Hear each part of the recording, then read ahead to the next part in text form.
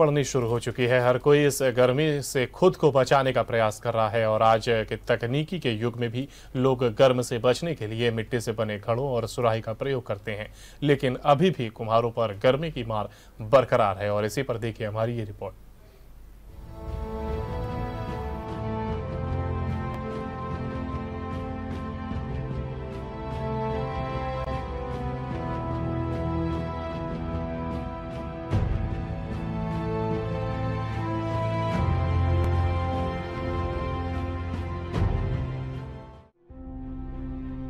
विज्ञान तरक्की कर रहा है, लेकिन तकनीकी युग में आज भी लोग गर्मी के मौसम में मिट्टी से बने घड़े और सुराही का प्रयोग करते हैं।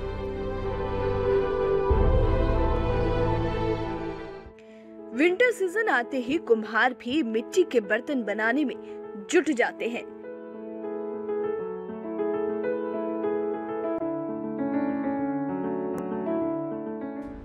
मगर इस बार महँगाई की वजह से कुम्हारों का धंधा मंदा हो गया है। ना तो कुम्हारों को उचित दामों में मिट्टी मिल रही है और ना ही सरकार से कोई लाभ। ऐसे में परेशान कुम्हारों को इस गर्मी से बेहद आशा है कि अधिक संख्या में कस्टमर्स उनके पास आएँगे और मिट्टी के उपकरण को खरीदेंगे।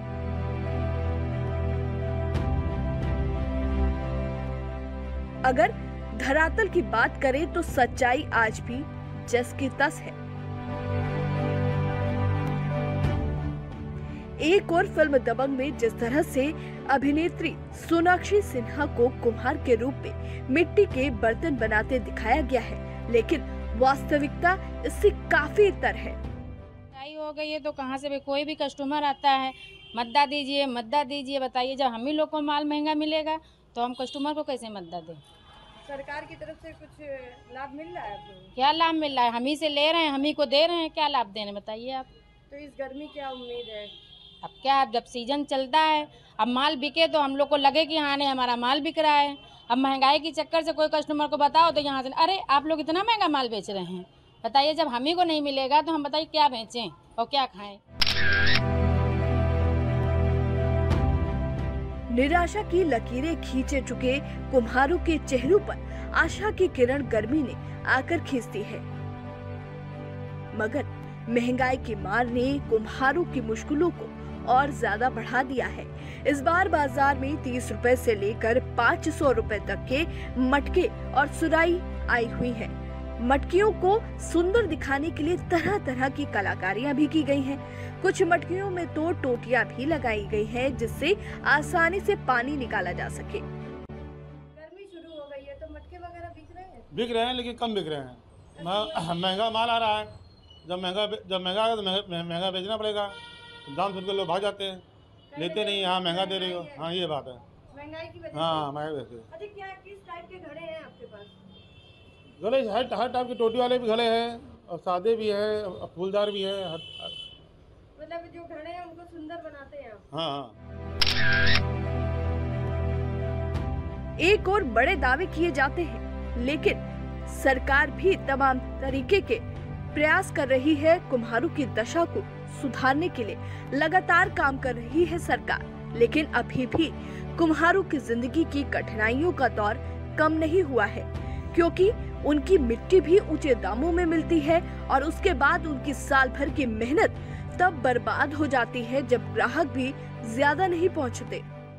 गर्मी के शुरू होते ही लोग पेय पदार्थों का सेवन करना शुरू कर देते हैं।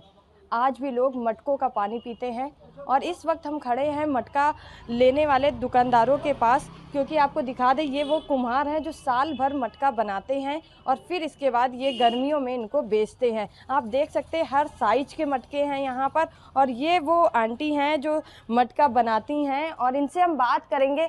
आंटी, इस बार जो मटके आए हैं, वो किस रेट के आए हैं? वो बहुत महँगे आए हैं और ग्राहक लेने नहीं आते, जो रेट सुनते हैं वो वापस चले जाते हैं। और तीन सौ तीस से तीन सौ तक रेट है घड़ों का। तो गर्मी शुरू हो गई है तो क्या लग रहा है कस्टमर आ रहे हैं कि नहीं आ रहे हैं? हर बार की तरह इस बार कस्टमर कम आ रहे हैं कि ज़्यादा आ रहे हैं? कस्टमर कम आ रहे हैं। आते हैं भी तो रेट सुनते हैं वापस चले जाते हैं। तो आप लोगों को क्या दिक्कतें हो रही हैं? क्योंकि काफ़ी उम्मीदें रहती हैं साल भर आप लोग तैयारी करते हैं। हाँ मट्टी मिल नहीं रही है। हम लोग परेशान हैं धूप में कहाँ मट्टी लेने जाए? जब मट्टी ही नहीं मिलेगी तो घड़े कहाँ से बनेंगे? सरकार से क्या सुविधाएँ मिल रही हैं आप लोगों को? हम लोग को कुछ सुविधा नहीं सरकार से मिल रही हैं। हम लोग बहुत परेशान हैं। कहाँ से अपने बच्चे पालें? जब मट्टी ही नहीं मिलेगी तो घड़े कहाँ से बनेंगे? कितने सालों से कर रहे हैं आपका परिवार? कितने सालों से ये मिट्टी का काम कर रहा है? साठ साल से ज़्यादा हो गए हम लोग मिट्टी का काम कर रहे हैं। कभी ऐसी मंदी देखी है कि महँगाई की वजह से लोग ना आ रहे हो? कभी नहीं देखा, पहली मरतबे ये देख रहे हैं कि महँगाई की वजह से ग्राहक नहीं आ रहे लेने के लिए। तो देखिए, जो कुम्हार हैं वो कहीं ना कहीं परेशान है क्योंकि सरकारी योजनाएँ उनके लिए नहीं हैं, सरकार से कोई मदद नहीं मिल रही है और लगातार महँगाई की वजह से जो ग्राहक हैं वो भी कम आ रहे हैं। कानपुर से वीडियो जर्नलिस्ट नीरू मिश्रा के साथ सारिका गुप्ता, जेएमडी न्यूज़।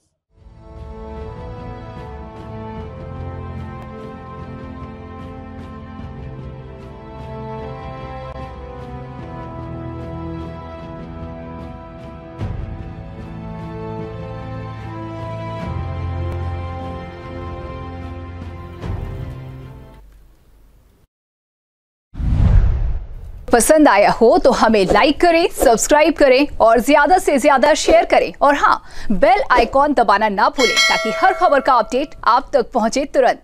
आप हमें इंस्टा ट्विटर और फेसबुक पर भी फॉलो कर सकते हैं। हमारी आईडी है at the rate J M D news